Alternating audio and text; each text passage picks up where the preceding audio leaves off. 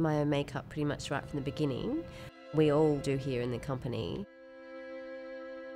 I do have a lot of stage makeup, but a lot of the makeup I wear is just department store makeup that you wear every day, and it does depend on which role you're, you're doing. Raymonda was based on Grace Kelly. She had a very classic look.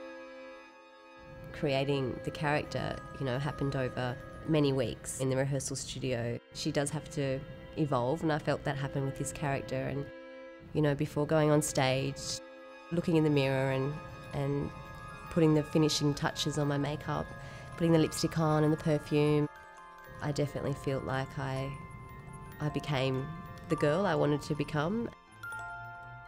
You know, it can be different all the time. It just becomes quite instinctive actually.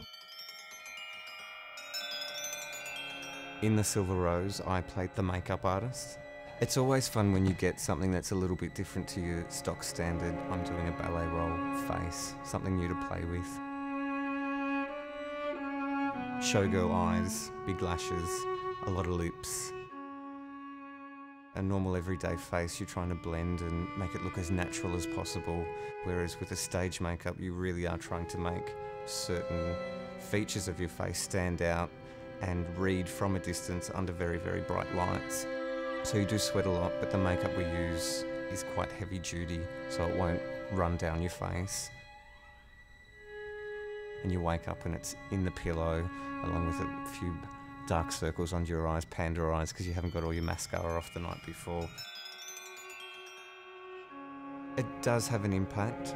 I usually say goodbye to my skin at the beginning of a big season. So it's always good going into a rehearsal period where we're not performing just to give your skin a breather and recuperate before it takes another beating in the next season.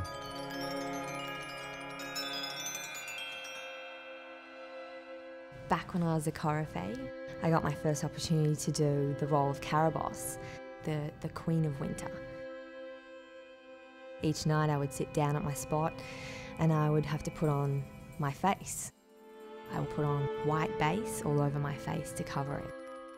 I was a blank canvas. And I'd put on nice strong eyebrows, really kind of red eyeshadow and striking lips. Carabosse is strong, she's powerful, so you have to get that character across. The audience has to read